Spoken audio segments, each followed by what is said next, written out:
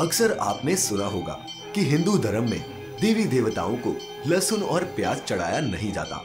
लेकिन क्या आपने कभी सोचा है कि ऐसा क्यों होता है?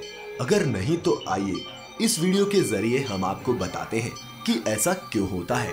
नमस्कार दोस्तों, हमारे YouTube चैनल पर आपका एक बार फिर से स्वागत है। हमारे हिंदू धर्म में अनेक मान्यताएँ प्रचलित हैं, जिनका हम पालन भी करते हैं। शास्त्रों के अनुसार, हिंदू धर्म में विशेषकर प्याज और लहसुन भगवान को चढ़ाने से मना किया गया है। इसीलिए इन दोनों को किसी भी धार्मिक कार्य में प्रयोग नहीं किया जाता और उपवास में भी इन्हें खाया नहीं जाता। आज हम जानेंगे कि आखिर हिंदू धर्म में प्याज और लहसुन को पूजा पाठ से वंचित क्यों रखा गया है?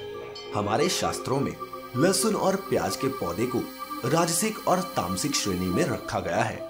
राजसिक और तामसिक का अर्थ है जुनून और अज्ञानता में वृद्धि। शास्त्रों के अनुसार, हमें जो भी भोजन ग्रहण करना चाहिए, वो सात्विक होना चाहिए। जैसे दूध, घी, चावल, आटा, दाल, लौकी आदि। इसके अलावा, तीखे, खट्टे, चटपटे, अधिक नमकीन, मिठाइयाँ आदि पदार्थों से निर्मित भोजन को असात्विक कहते हैं, जो कि रजोगुण में बढ़ोतरी करते हैं। लहसुन, प्याज, मांस, मछली, अंडे आदि जाति से ही अपवित्र हैं, और ये राक्षसी प्रवृत्ति के भोजन कहलाते हैं। हमको इन्हें सात्विक भोजन पदार्थों के रूप में कदापि ग्रहण नहीं करना चाहिए। अन्यथा अशांति, रोग और चिंताएँ जीवन में बिन बुलाए मेहमान की तरह घर में प्रवेश कर जाती हैं। इसीलिए पुराणों में लहसुन और प्याज का प्रयोग रसोई घर में निषिद्ध माना गया है। इसके पीछे एक पौराणिक कथा भी है, जिसके अनुसार समुद्र मंथन के दौरान जब समुद्र से अमृत का कलश निकला था, तब भगवान विष्णु सभी देवताओं को अमर होने के लिए अमृत बांट रहे थे। उसी दौरान राहु केतु नाम के दो राक्षस भी उनके बीच आकर बैठ गए। ऐसे में गलती से भगवान ने उन्हें भी अमृत पिला दिया।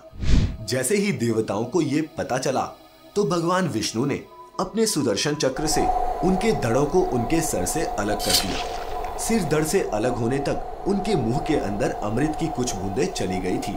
ऐसे में राक्षसों का सिर तो अमर हो गया, लेकिन बाकी सब नष्ट हो गया। लेकिन जब विष्णु जी ने उन पर प्रहार किया था तो खून की कुछ बूंदें नीचे गिर गई थी। ऐसे में उन्हीं खून की बूंदों से प्याज और लहसुन की उत्पत्ति हुई, जिसकी वजह से इन्हें खाने से मुँह से गंध आती है।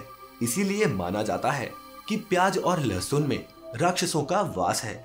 हालाँकि अमृत से उत्पन्न इन दोनों में रोगों से लड़ने की क्षमता होती है, लेकिन राक्षस से उत्पन्न होने के कारण इन्हें देवी देवताओं से दूर रखा जाता है। और भगवान को नहीं चढ़ाया जाता। इसके अलावा, प्याज और लहसुन के ज़्यादा प्रयोग से मनुष्य का मन पूजा अर्चना से भटकता है और दूसरे कार्यों में ज़्यादा लगने लगता है। यही वजह है कि हम पूजा पाठ में इन दोनों का प्रयोग नहीं करते।